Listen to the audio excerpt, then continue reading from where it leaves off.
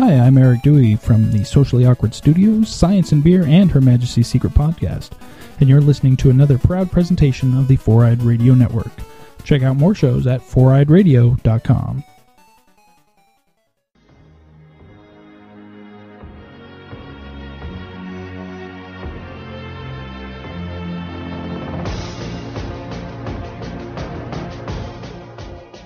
It's your good pal Stevo from the Four Eye Radio Network. I'm here to talk to you about a wonderful designer we all know, uh, Revenge Lover. Illustrates and designs that fit your personality. For samples and inquiries, please visit revengelover.com. And just do yourself a favor and tell him Stevo sent you. I know it really doesn't count for anything, but I mean, come on. Who's gonna? Who are you gonna trust? You gonna trust? You gonna trust somebody else? No, you're gonna trust me, Stevo. Because face it, I'm awesome. Warning The following is intended for mature audiences. It includes references to the use of illicit substances as well as crude humor. Listener discretion is advised.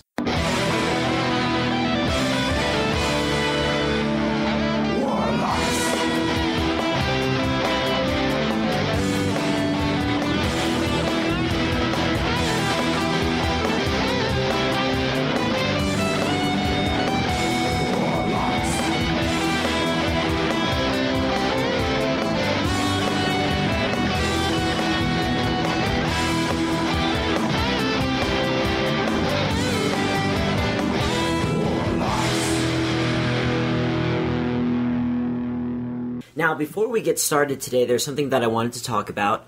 Um, there is an individual. There's a there's a pocket audience that we're not tapping into, and uh, that is a one Shane Garcia. Yes. Um, so I just wanted to say, in no uncertain terms, this one's for the Shanes. Cowabunga, America! I'm Zach Nanimus, I'm Johnny Dim. And you've just tuned into the Warpod, part of the Space City Nerd Network, the Four Eyed Radio Network, Musings of a Geek, and the Houston Nerdcasting Collective. Tonight on the Warpod, we're going to be talking about Prometheus 2, Another network the Warlocks are joining. which I already mentioned, You did, but we're going to talk about it a little more. Ultimate Chicken Horse, Why Zach is a streaming fuddy duddy, Star Wars, uh, and announcing a release date of a release date. And and Michael B. Jordan is the new Chris Evans. So first, I'd like to talk about our new network. Yes, it's our new network. Like you mentioned, it's called Musings of a Geek.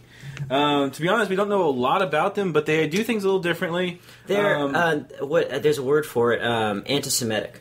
oh yeah, okay. Um, I didn't know that. Learned something today. You should probably research the people that you that you get in bed with. Nah, mm-mm, no. Any exposure is good exposure. No, they're a fine they're a fine network, and uh, we're uh, we're very grateful to be on board. Yeah, and we're grateful for all the networks that allow us to be on board, um, and because they've all been really cool, um, and, I, and it's good for our audiences. I'm glad that uh, we're getting more listeners. So this might be somebody, somebody's first episode. This will be somebody's first episode listening to us.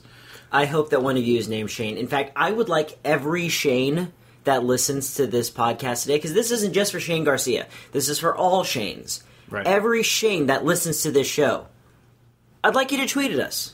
Yeah, It- Shane, this is this one's for you, and I'm taking I'm, I'm talking to all of you. We're gonna we're gonna call it uh, Stephen King's The Shaning. The Shaning. Yes. All right, yeah. Uh, this is the Warpod Shaning edition. Um, that's really all I got. I just wanted to at least talk to uh, say you know how cool they are for letting us join, and um, we'll talk about them further uh, once we um, build more of a relationship. We learn more about them. We can talk about them more. Um, and kind of support them because they're supporting us. We should go on like a really cheap date. Yeah, I agree. Absolutely. I'm we go think- bowling? No, I, Oh, I love that idea. I'm thinking a PB and J picnic. No. bowl- That sounds. Oh, that's this, that. Both are cheap. Bowling is Come not on, that musings cheap. of a geek. Let's go. Let's go bowling. Yeah, it'll be a Geek Fest Bull Fest.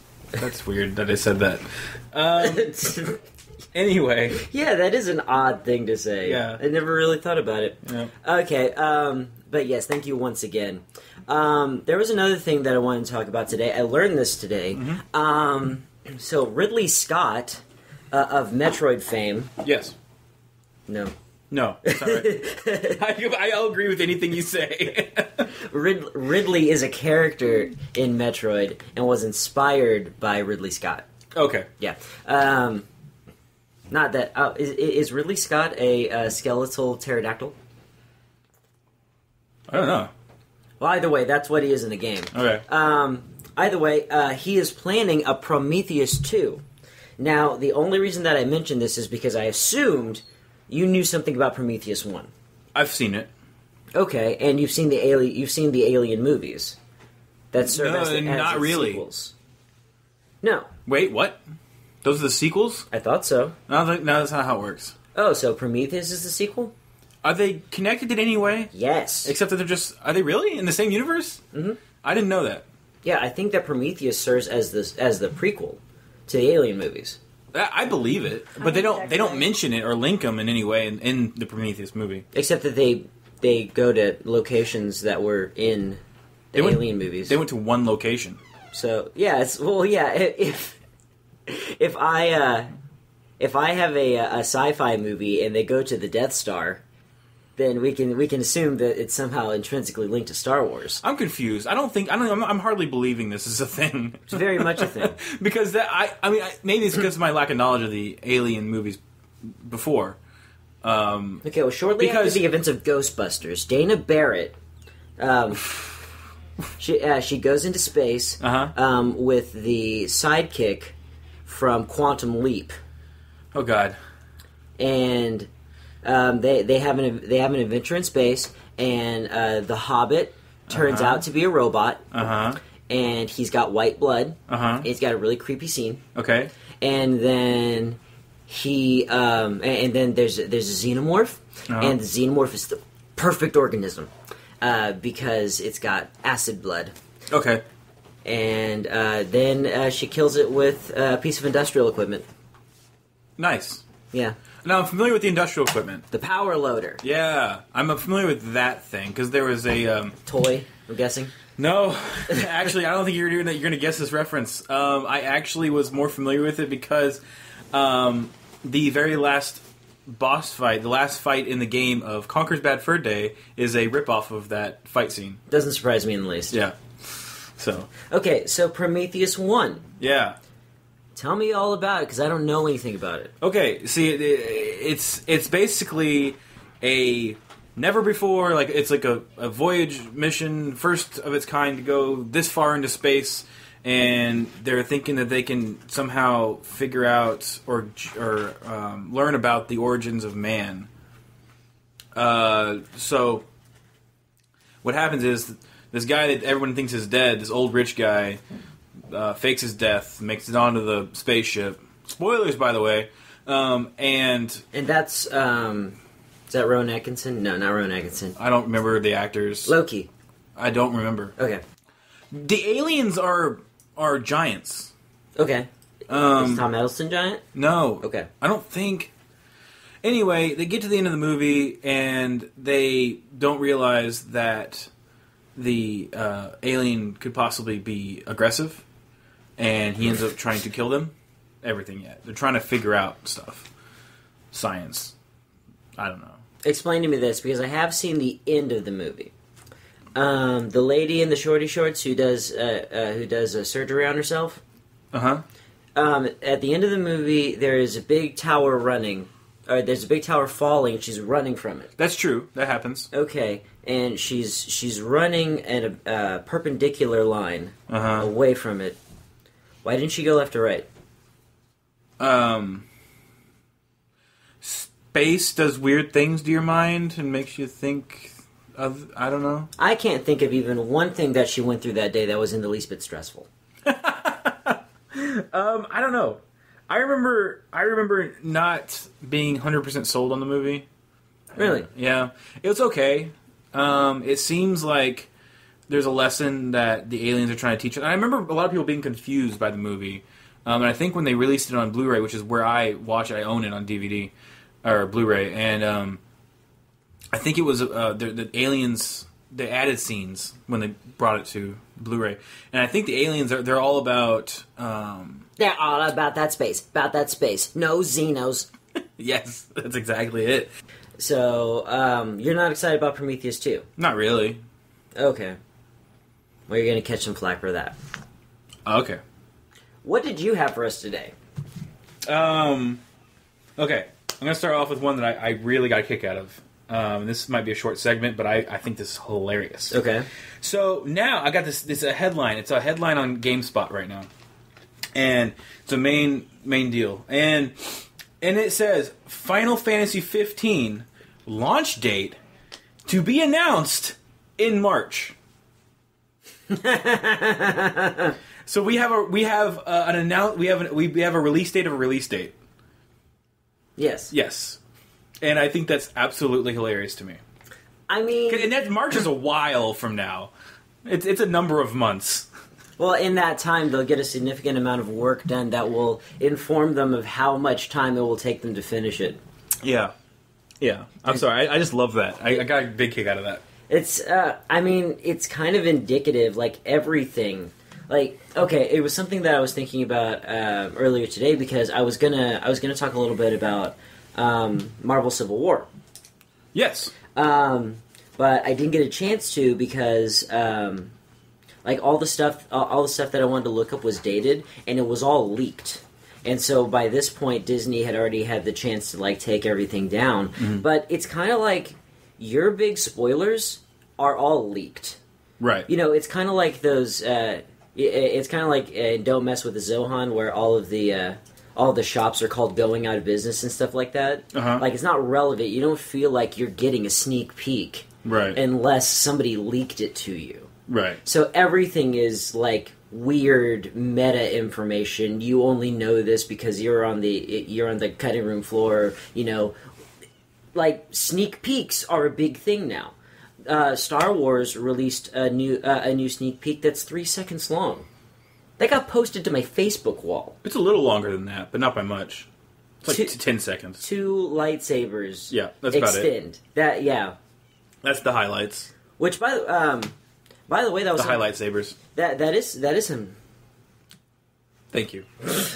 That is something that we talked about on the show, but yeah, um, we talked about in the Let's Play, but isn't going to, um, you know, nobody's going to see that for a while. So it's something I kind of want to talk about, and um, that is the showdown between Kylo Ren and Finn, played by John Boyega. Hashtag Black Stormtrooper. Is that his name? Finn. Yes, Finn. Okay. Um, yeah. Um, Finn the human. Ooh. that episode of Adventure Time is going to be great. yeah, absolutely. But no, um, one thing about one thing that struck me um, uh, about this uh, about this scene, and actually a friend, uh, a friend of mine, um, shout out to Corporal Punishment. Um, we were talking about how they, like, we know Kylo Ren's not a Sith. We and Finn doesn't seem to be a Jedi. Right. He he doesn't he doesn't look that way. You Right. know. Um, would you agree with that? Yeah, I think. I think. Yes, I want to agree with that Okay. because I feel like it would be too easy to make him a Jedi, and I think that J.J. Abrams um, won't go with the obvious. I don't think. Uh, that's We- that's my that's my base judgment of it. Um, we like to hope not. Right.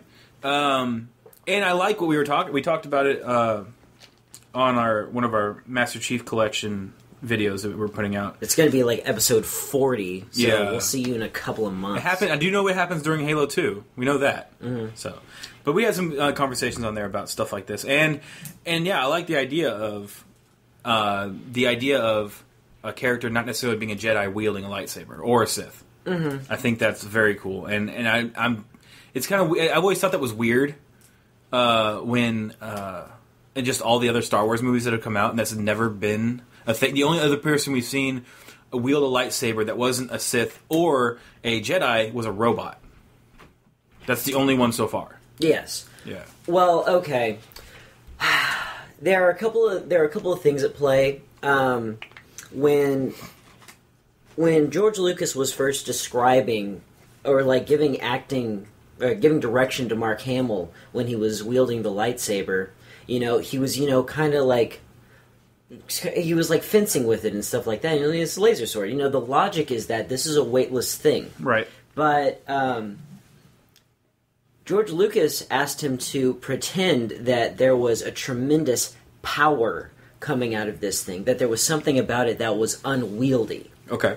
Um, so that plus in a Star Wars Saga Edition role playing game, you have to take an exotic weapon proficiency to use the thing. Right. So these two things lend themselves to the idea that it's possible for anybody to use one, but it's not simple. Right. Um, I think Captain J wanted to say something. Light foils, which were um, invented before lightsabers, were a- uh, non-force users were able to use them. yes. Well, non-force users can use lightsabers, but they're still exotic. I understand. And like an example, of, uh, an example. But I thought that Jedi's had to use the Force to help control, like the crystal. Like you needed But- to be more Force savvy with the new, the newer lightsabers than before. Uh, I mean, I'm not certain about that. The precedent in the movies that Han Solo um, cut open a tauntaun with one, so clearly it's it we're capable of holding them, Right. and General Grievous did too. It just might be the Like, combat wasn't he Force sensitive? No, No.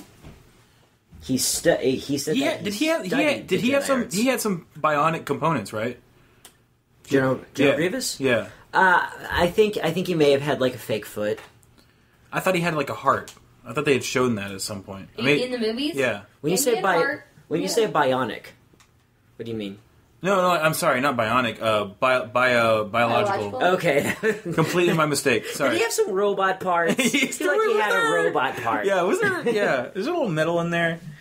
Uh, he had a. Um, he appeared to have a heart, uh, spinal cord, um, eyes, and a brain. Okay. Okay. Um, but yeah, and for those of you who maybe don't play tabletops, an example of a um, uh, of an exotic weapon would be like nunchucks. They're usable, but it's something that you have to practice with. Right. Yeah. And in in, uh, D and D fifth, they kind of address that with you. You either get a proficiency bonus in something or you don't, and it's all about your class and what you're used to. Um, so so fighters, of course, are more are more proficient in um, a wide variety of things because they're fighters and they've you're you're expected to have seen these weapons before. Where monks get the more specialized stuff, Right. such as nunchucks, sai. Uh, It- quarterstaff. Well, every, anybody can use a quarterstaff. Anybody can use a quarterstaff, but generally it's not used. Um, I think they well they use them better. We'll say that. Um, so if it turns out that Finn and Kylo Ren are not Force users, are you excited about this concept? Yeah, absolutely. Yeah, I'm very excited about it. Uh, I think it sets a new precedent for the movies and um, could be very interesting uh, going forward into episodes uh, eight and nine as well. I was just thinking about something because, like, the cinematic universe, if you're accepting it as canon, like Mm-hmm. it, it, like that, the whole the whole cinematic universe is canon.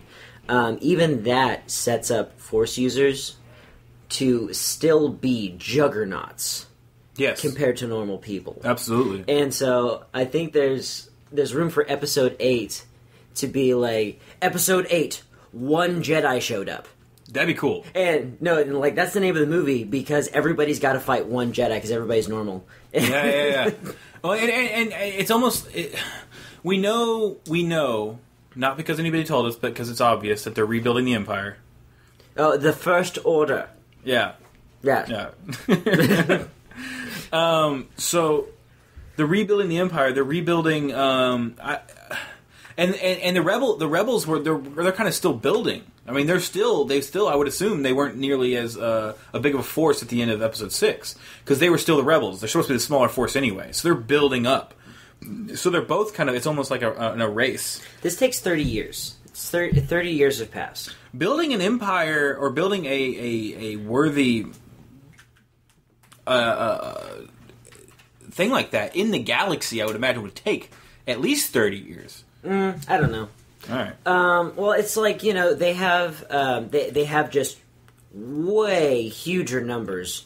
They probably have like whole resource planets where it's like, oh, we get our tritanium from this Right. planet, and we're slowly eating the whole thing away, but nobody lives there, so you know, screw them. right. Um, and on top of that, um, manufacturing is crazy in that era because you have uh, robot manufacturing, force fe- um, uh, force field reinforced uh, production models, and things like that. I don't think it would take that long. I Okay. really, I really don't. All right. It'd be kind of, it's kind of like, um, I'd say it's one, uh, at least one or maybe two steps backward from um, Star Trek manufacturing, which is like instantaneous. And anybody who has insight into the economics of Star Wars, they're welcome to uh, inform us exactly how that's that is played out. Um, but yeah, I, I think yeah, that's all I got on that subject. Well, actually, I've got a lot more on Star Wars if you want to skip up to it. Like what? Um, well, um, there's actually a new game coming out um, called uh, Star Wars Uprising from Kabam Games. Kabam! and um, not not too much is known about the game. It's uh, it's been said that it is a dungeon crawling RPG, which I'm excited about, especially in the Star Wars universe. In the Star Wars universe? yeah, Uh, tabletop no, it's a video, video game. Yeah, On It's- what on what on what PC, I system? believe. PC. Yeah, Kind of like Diablo 3. Top and down. Oh, Lord of Osiris, right? okay. So yeah, yeah, yeah. That's what I'm assuming. Yeah, that and, and then also there's uh um, what was the uh the, the Dungeons and Dragons uh, game that was so popular in the Dungeons and Dragons. No, God, I should I shouldn't have said anything. I completely forgot what it was called. Um, the thing is, I don't know anything about the gameplay. The gameplay is taking a back seat to the fact that um, this game is all about these four custom factions that are coming together, and that's not even what I, what, what I want to talk about. One thing that the uh, the article that I read mentioned was that um, now that the expanded universe has been tossed out. Um, it's giving uh, it, it's giving Star Wars creators freedom to basically rebuild that canon, mm-hmm. and I think that this could lead to canon glut. Canon Glut. Yeah, uh, like DC had for a long time. Okay. What, what do you what do you mean by glut? What do you mean like is it gonna be uh too much of it or not enough? There's going to be too much intersecting and parallel, and just you know, you're going to have your deviant art fan fiction where Yeah. uh, Luke Skywalker and Chewbacca start like a, a pop band and stuff like that. It's just they they they get to go wild, and it's it, it means that this is the first example of an independent of an independent creator saying, "Okay, my Star Wars is this," which is exactly what happened to DC. Right. But but but but Disney is licensing these people to use Star Wars, and so Yeah, so it's in Disney's hands. They need to be picky about who they give licenses to. the thing is, it's not a bad idea, Okay. but it's the tip of what I think is going to grow into a very large iceberg. Right. Okay. Is this a bad thing? Uh, well, are you are you saying it's a bad thing that they've started doing this, or is it a bad thing that that it could that your uh the the, the future you're you're afraid of is going to happen? Yes. So you're, you're asking if that is a bad thing? Yes. Um, I don't think there's something drastic would have to happen to harm Star Wars as as a property. Oh well, no. The thing, the thing about it being in any financial strife, No, that's not what I meant. off the table. That's not what I meant. I meant as an idea, as as a product, as a, a thing that, that we're fans of. Um, for for me to say, oh man, Star Wars, no, I don't. I mean, right now you already know I'm not a huge Star Wars fan. Um, but uh, I think I think that's good. I think that ultimately that could be good for Star Wars. It's almost like they've hit the reset button anyway. So, yeah, I, I think that it could be good. I'm afraid of. I- I'm I'm literally afraid of there being so many continuities and like there being so many overlapping, intersecting, and contradicting stories that eventually Star Wars is going to have to have their own Infinity War. Go for it. That sounds awesome. a Star Wars version of Infinity War. But I think I think that that is one thing that could actually be damning. You think so? Oh, be, oh, it's like um, you know, they uh, they just did um, Marvel just did Se- uh, Secret Wars three, and uh, you know I've been uh, I've been reading that, and one one thing that I noticed, and it was something that you know I kind of made a excuse for early on in my mind while I was reading it. I was like, well, this is their story where they are condensing the universe back down to one, just like uh, DC did in uh, Infinite Crisis. Right. And I was like, oh well, by necessity, it's going to be a similar story. And so, if they're following the same comic booky path of having all of these, uh, uh, all of these continuums, all of these ideas that fit into separate canons, then they're going to have to start having similar contrived stories, especially crossover stuff, Uh huh. like uh, count, uh, countdown to infinite fets.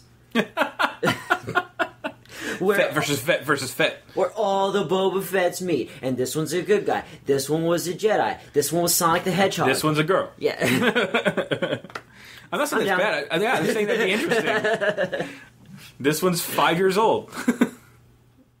what? No, I'm What? Not, I'm not going to make that. I know. I know exactly what you were thinking. I'm just saying they're different, different ages. You know, all types of different uh, fets. That'd be interesting. well, it's like when you're in when you're in sci-fi, you know, and you make the jump to making uh, to uh, to gender switching a girl. Yeah. Then the obvious route, not the appropriate route, but the obvious route is to make them a sex symbol. And like this one's a sex symbol. This one's a child. You, you need you need a buffer character in between. Absolutely. Absolutely. This one's this one's a sex symbol. This one's a Wookie. Right. This one oh bad example. I the characters just keep getting sexier. Is what's happening. Uh, Don't judge. Either way, um, that yeah that that would that would be my only apprehension as far as the actual people are concerned. Um, actually, no, we'll we'll come back to Michael B. Jordan because you have because I don't know what you have on your list. Yeah. Well, you heard what I said earlier about when I introed it. Um, I want to talk about why you're such a fuddy duddy when it comes to streaming. Streaming's weird. But how is it? Okay, well let's let's define what we do, right? So we do the podcast. We also do our version of Let's Plays, which are called war, war games. The difference between the war games and a streaming episode, is the ability to edit. yes, that's the only difference. and the fact that it gets introed and it comes in smaller doses. But you've done live performing before, mm-hmm. So have you grown? Have you, do you not like that anymore? Live performing happens in little vignettes Yeah. where you have a beginning, a middle, and an end about every five minutes. Uh huh. So it's actually a show within a show within a show. Right. Whereas streaming, Streaming could could be that. streaming's just a lot of. I'm holding a controller now, America. Oh, something blew up.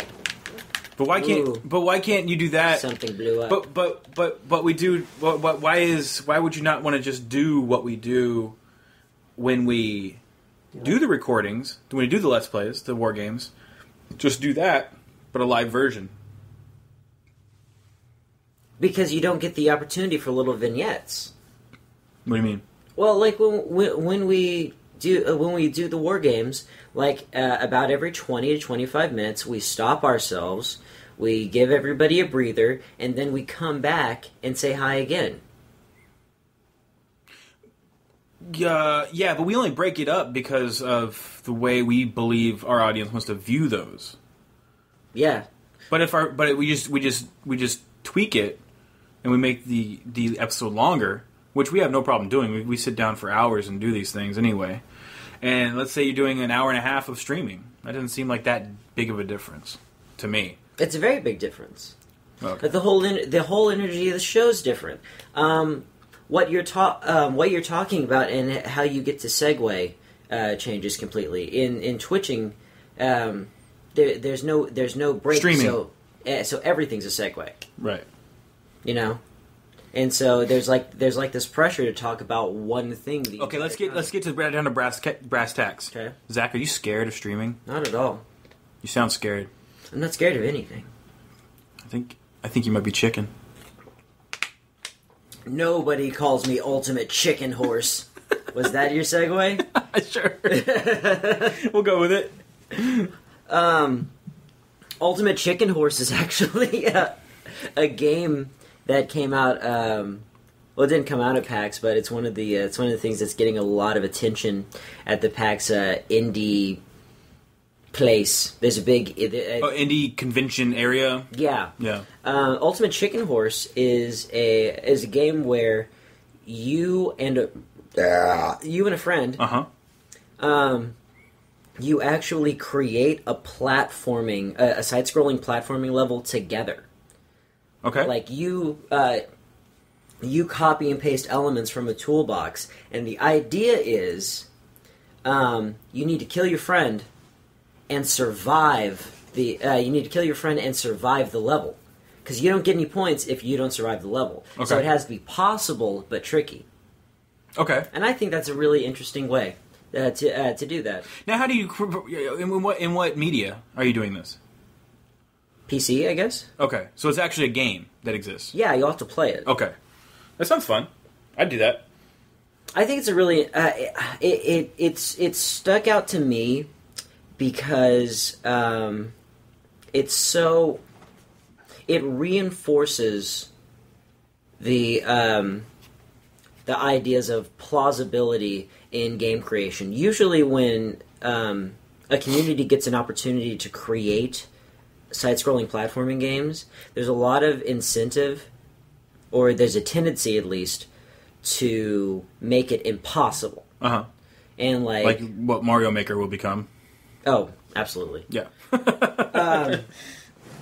But this one, you actually have to be able to get through it, yeah. which that's that that's that's just brilliant to me. Yeah. Absolutely. That sounds great. What's the thing that you would want to see in a platforming game to try and kill your friends? This actually, this it's funny. This triggers a, mem- a memory. Um, I used to play this game in. Um, I think you've done it in junior high mostly. With Odds uh, and evens. no. I remember this game. No, no, no, no. Marlon, Marlon and I, I think it was Marlon. What we would do is we would have just a piece of paper in front of us, right, or in, like in a spiral, or whatever, page open, and we would draw. I think it started out with us drawing just stick figures of each other, like we just do stick figures, and then we would. Um, would draw no, no, I think it was just one of us. Like, oh, this is you, and then I'd have like, like for example, then I draw an anvil on his head, over his head. They would draw the genitalia on the stick figures and post it DeviantArt. Yeah. And so we put the, the like an anvil that's going to fall on his head, and then he would draw something that counters that, so that he stays alive. And we keep drawing, taking turns drawing things back and forth, and it reminded me of that because it's very similar. That's really interesting. Yeah, I didn't know you were an artist. not really. Safety. Yeah, but I like the idea. No, but to answer your question, um, what would be the best thing to kill my friends with? In general, then I could put it. You know, then I'll put that in the game. So I got to answer that question 1st What would I like to kill my friends with? Love. Shame, Shame. Mm-hmm. So you are going to. and it rhymes with Shane, which is what this episode is dedicated to. This one's for the shames. Yep, the Shaney shames. Uh, so you would copy paste their uh, internet browsing history. Yeah, absolutely. Yeah, yeah. Can, can we do that? I want to do that. Right now, Yeah. you can copy paste my internet browsing history. It's squeaky clean. I'm Of course it is. Of course it is. Yeah. Right. I am not gonna get into yours. That's probably safe. Um, What would you put in the game to kill your friends? um, I think I would want like Turtles? Captain Baby. Captain Baby. Captain Baby. Would Captain Baby have powers? You know what Captain Baby is? I don't know what Captain Baby is. Um, so there was a uh, side-scrolling walk-around beat 'em up uh, called Captain Commando, which featured uh, there. There were all sorts of uh, captains, and Captain Commando was the most powerful one, or he was the he was the main character. And then there was Captain Ninja, and like there was Captain Robot, and one of them was Captain Baby. Uh huh. And Captain Baby was just a baby in a big mech suit, and you went around punching bad guys. Oh, sweet. Yeah, I'd want Captain Baby. Yeah, that's the best type of mech I've ever heard. Really? Yeah. Do you think they'd put a baby in that uh, that fight they're gonna have, the big robot fight they're gonna have with Japan? You heard about this? No. Uh, there's a company that made a giant robot, like a mech well, robot. How big? Uh, it looked, if I, if I remember correctly, it was about, I would say, five to six times my heights. My height? No, probably less than that. So it'd probably be like twelve to fifteen feet high. Okay. Um, so kind of like a power loader, yeah, yeah, yeah, but more armor. yeah, and a little bit bigger if I remember correctly, just a little bit. Okay. Um, but anyway, yeah. So so they mel- built this robot, and then they they were doing videos about it shooting stuff and whatever, and they just built it by hand or built it from scratch. And they challenged since ro- Japan makes so many other robots, and they've been doing this for a little while. Uh, they called out Japan, and they challenged Japan to a giant robot fight, and this is happening now. When? I don't. I think it's they, they scheduled a year in advance. That way, they can have time to improve the robots and make them battle worthy. So they've fixed the problem with vehicular motion. No, what do you mean? These robots walk on feet. Yes. Uh, I think the one they originally had built, I don't remember if it had legs or if it had. I think it, I think it had tracks. It almost invariably has tracks. Yeah, I think it did. But I- Japan's been making making walking robots, Yeah, and she sucks. right? Because they're off balance. Well, the thing is, is like, As soon as they get hit with something, they're gonna fall over. yeah, and it's not even about like weight distribution. It's the fact that our brain is much more advanced than we give it credit for. And anytime we're walking around, we're making all of these micro adjustments, not only in our ankles, but all over our body. Right. We're actually playing a balancing act. Which is at this point in our technology um, advancement, it's hard to recreate that in a robot. yeah. Yeah, and and there they are doing some. I remember there's some balancing uh, mechanics that they're having. Basically, what's you need to check out this video, and uh, hopefully I'll just find the link and attach it to the links below. But I watched this video of them kind of promoting this, and uh, I think they might be doing a crowdfunding campaign. I don't remember if they're not or if they are or not. But what they do show in the video is like the five different teams they're bringing together to help improve the robot, the USA. Excuse me, the, the American robot. That, of course, being uh, T Rex, Pterodactyl, Smilodon, Mastodon, and Triceratops. Of course, but in addition to that, um, they're also bringing a guy from NASA um, who, did, who, who did all the um, the robotics. all- and one guy to do the science. yeah, he has to control. He has to, he's the head of that team. no pterodactyl, no, um, uh, no. But he's he's doing all the robotics. Like, he's bringing because he's a robotics expert, and he did all the uh, all the Mars uh, rover stuff. Um, and they also bring uh, a team. Uh, well, they're bringing a guy from from Hollywood who's who's specialized in. Um, I think he does paint jobs. Tell me something, like with no, no, no, no. This guy just specializes in like, um, I think the aesthetics of like some robots that have been in movies and stuff like that. Um, and then, um, but they also brought in a couple of the teams I hadn't heard of. One guy um, who actually does like the best. Uh, he, he, I think he does. He's a, he's a contractor for um, the U.S. military. Like he makes a lot of the the very fast tanks and stuff like that. Their company does. So they're he's gonna he's bringing in to specialize just with the tank portion, with the treads and all that. And then so they're bringing different par- different specialized teams for certain parts of the robot. Muldoon to shoot the dinosaurs that we mentioned before. Right. That's that's gonna Shoot! ah! exactly. Clever girl. um, This this actually made me think of something because I love. Um, they're watching football, by the way. We've been very good about this so far. We haven't said a word, but he scored a touchdown, and that is Well, there's a flag on the. Uh, yeah. He pushes him while he's in the air. It's both. yeah. He catches it with one hand, and then and then moves it to the other. DeAndre Hopkins is the best. I drafted him today in the fantasy football league I'm in. I don't Nice. understand. with with the Four Eyed Radio Network. It's a Four Eyed Radio Network, a fantasy football league. I don't understand fantasy football. It's Dungeons and Dragons for non nerds. No, but there's so many little things. Oh, they're trying to say it was pass inter- offensive pass interference. Well, it'd be about who makes contact first. But okay, so this Anyway, enough football. yeah, this is one thing that I um, I really love mech stories. Yeah. Um, Big Gundam fan. Um, yeah, I like Gundam, but w- one thing that w- one thing that I've demanded uh, from my anime or mech stories in general as I get older is a good reason for mechs to exist. Uh, best example, um, what? Tro- uh, not Tropic Thunder. What was the name of the mech movie that came out really recently? Oh, I know what you're talking about. Uh, Pacific Rim. Pacific Rim. Yeah. Yeah, They're doing a, they're doing a sequel of that, I believe. No reasons for mechs for for mechs to exist. No. No reason at all. Right. Um, Gundam, very, very loose idea that suggests why mechs should exist. yeah, the only reason they really should exist is because they're fun for people. Exactly. Entertainment. But there there are some stories that actually do a good job of explaining it. So what's your favorite story that adequately explains mechs? Well, I, there's a term. There's a term that that automatically um, helps me with that that amount of disbelief Fan service. no that is no that is required for me to like if they just use this one term. Then I'm like, all right, cool. I'll, I'll, I'll suspend my, my, my you know disbelief for, for this particular episode or show, whatever it is, and that is vertical tanks. That's it. That one term, I'm like, all right, that that sounds real. I'll, I'll buy. I'll buy in. Why vertical tanks? because it gives the idea because a tank is a thing it's a thing a real thing that that that is a part of our military Okay. a part of everybody's military um, and it's a it's a practical machine Okay. um, and I think all my, my mind the way I I sell it to myself is that yeah it's a tank and it's just taller So something that uses a thousand times the resources. Well, the thing is, Yeah. uh, when I when I think of a, a vertical tank, also I still think of treads. I think of just a, a, a vertical body attached to a, a a strong base that's treads. That, Okay. that are, are treads like that. That makes sense. Once you start standing them up, I just I just I continue the disbelief or uh, the suspension of disbelief.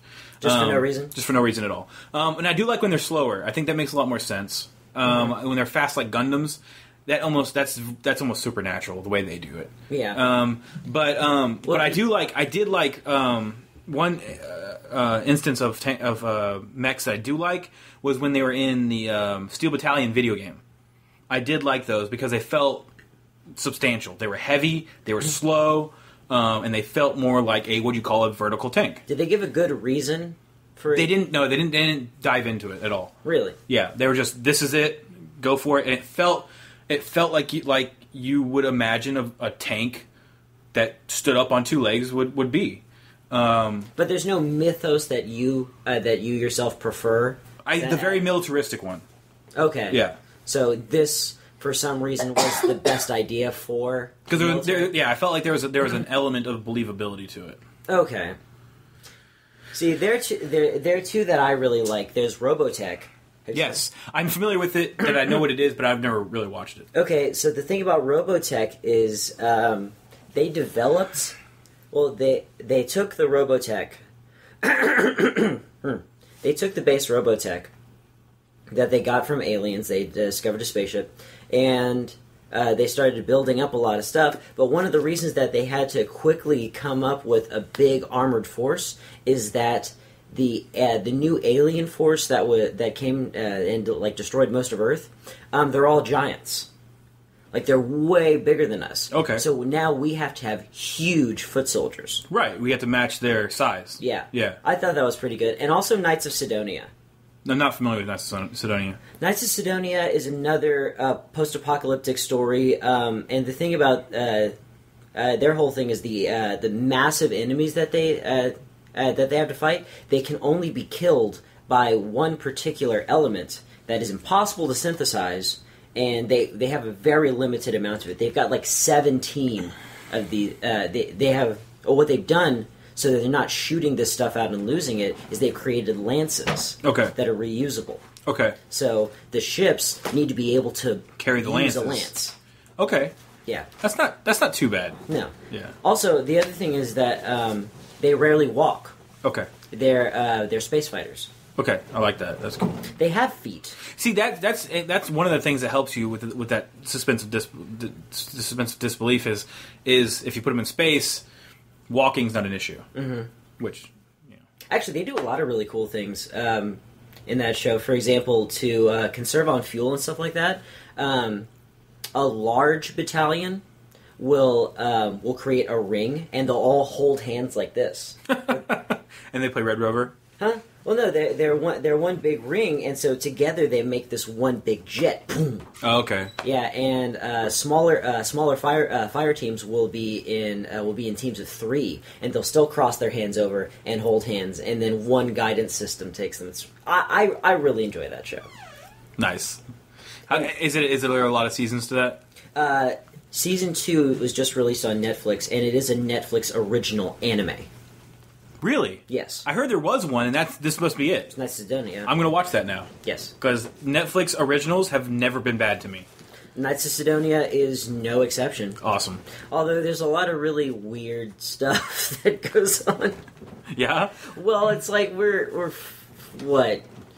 Uh, th- this is like 500 years after Earth is Yeah. already gone, and um, we've had to we've had to do a lot of things to our population in order to make it in order to make this work. For example, most modern, actually all modern humans. There's only one counterexample, the main character of the show, uh, but all modern humans actually photosynthesize. Okay. Um, and so there's a lot of like nasty characters that are like, yeah, if I win this competition, then you're gonna have to photosynthesize with me. Ooh. well, you you're naked. nice. Um, but um, no, and uh, the, the the skin suit thing was weird. okay. It's their it's their flight suit in order to conserve. Uh, uh, in order to uh, conserve uh, conserve water, the skin suit has a has a catheter. Ugh. Yeah, it's automatically put into you. Oh boy. and it was a really weird like fan servicey thing because like you're you're in the you're in the women's locker room and there and there's like zipping up their skin suits so you get a little cleavage shot very awful but um like and then uh, you and you know the catheter thing's gonna happen and they're just sort of blushing and going oh oh and it's like that's not what happens when you get a catheter Um. Well, uh, we will be cutting this one a little short. are you kidding me No. But is there anything you wanted to talk about before? We, we have a couple minutes. We can talk about any other subject you had. michael b jordan's the new chris evans And why do you say that? Because He's going to be another uh, superhero. Okay, the thing, uh, the, actually, yes. Yes. Um, so Michael B. Jordan was the Human Torch. In It's a right. Ba- in a bad movie. Yes. And now he's switching to a new comic book Yep. character. Still Marvel. Uh, no, it's Dark Horse. I'm sorry. My bad. You're right. By Marvel, I meant not DC. Correct. um, but he's actually going to be in uh, Blood Brothers. Yes, it's a vampire flick. Uh, I had actually read about this, um, and it's it's nothing I've ever heard of. A lot of as, a lot of Dark Horse comics are a little f- under the radar. Um, this is no exception. Uh, and this one, from what I- from what I read, was like it's they're making it into like almost like a dark comedy buddy movie. Yeah, I mean the the comic. It's it's one of those comics that doesn't have any um, boundaries. Right. Like, it's like these characters are centuries old, nigh invulnerable. Let's do whatever we want. Right. Like they smoke opium with Genghis Khan, and like they have their own rock group in the '70s and stuff like that. There's no rules, and there's no established timeline. They fit in anywhere, can do anything, and so as a result, it, they just get to they get to put these characters in any situation they want, which is what. And on top of that, it's not a big franchise. And when it's not a big franchise, example Watchmen, um, they uh, they get to do what they really wanted to do with the movie instead of worrying about toy sales and sequels. Right. And so yeah, this is just it. Hopefully, this this has the potential to be a zany romp, where I think a lot of people would argue Fantastic Four never had a chance Yeah. Especially in this market and not being part of the Disney Marvel Cinematic Universe where Which- all of the emphasis. Yeah, because and, and this is one thing that little irks me just a little bit. I understand though why it is this way, but it really irks me. Mm-hmm. I, the real Civil War movie would be bigger than just a, Captain America Civil War movie. It would be Civil War with Reed Richards in it um, because he was actually kind of a big deal in it. Not a mm-hmm. huge deal, but he was a part of it. As was the X Men. As were uh, all these different characters, and it, I wanted that movie. And I think, but since we live in the age of reboots, I'm hoping someday we'll get the real Civil War movie that we really want. I think because uh, I think because um, Wolverine is such a big name all on his own, and actually I've been pretty uh, I've been pretty happy with the past two X Men movies. Um, I think that I think that there's room for like Disney, uh, uh, Disney and was it Fox? Yeah. Uh, to be like, hey, can can you can you tell the can you tell the Wolverine story, please? Right. because he has the best story in all of Civil War. Yeah. It's perfect. Right. I love every minute of it. Tell me what, when he when he hunts down the dude. Yeah, when he gets nitro. Yeah, yeah, yeah. Oh god. Yeah. yeah. okay. Um, but yeah, so um, one thing um, we don't mind pulling back the curtain every once in a while. We did have a bottled outro that we were using. I stopped using it in the last episode or two. Okay. Um, and the reason it was I wanted to be more like to quote you, organic. Okay. And I think we just should should talk about naturally about the things that we want you guys to go check out. So Okay. go, so so go um, please check out our Patreon for one. That's number one, um, where you can actually uh, get exclusive content and stuff from us. Um, if I, with a minimum of two dollars a month, which is nothing.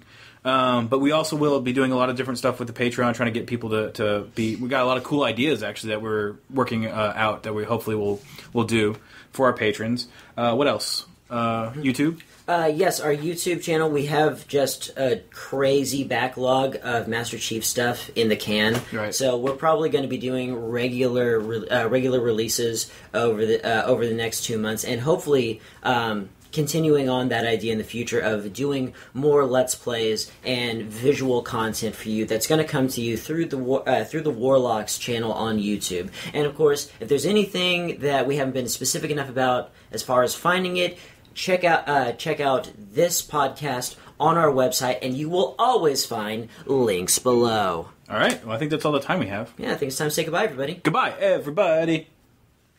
Meow. This has been another proud production of the Four Eyed Radio Network. You want to see more shows? Go check out www.foureyedradio.com, you winkers.